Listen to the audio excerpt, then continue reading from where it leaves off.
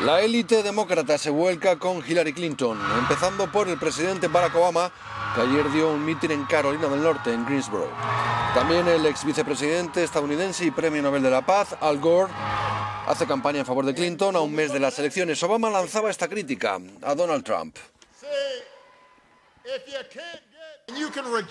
Podéis rechazar una visión oscura y pesimista de nuestro país en la que nos ponemos unos en contra de los otros y damos la espalda a nuestro papel de líderes mundiales.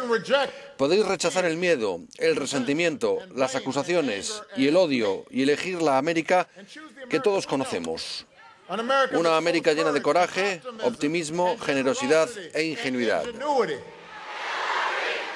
En un momento de su intervención, Obama dijo que no tiene sentido que muchos republicanos condenen los comentarios sexistas de Trump, pero le sigan apoyando. Entonces, un grupo de personas irrumpió a gritos denunciando que Hillary Clinton protegió a Bill Clinton, el violador.